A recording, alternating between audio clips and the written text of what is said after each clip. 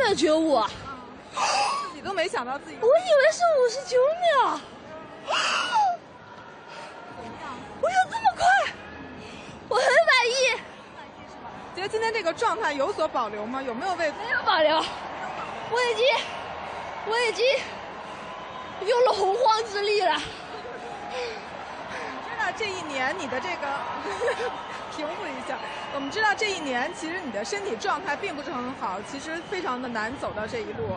对对，那现在觉得这个恢复到以前的自己了吗？呃，已经已经是最好成绩的历史，所以我就用了这三个月，就是去做一个这样的恢复。鬼知道我经历了什么，真的太辛苦了，我真的有时候感觉我已经要死了。我的奥运训练真的是生不如死，但是看今天的比赛，我还是已经心满意足了。是不是同时也对明天的决赛充满希望了？没有，我已经很满意了。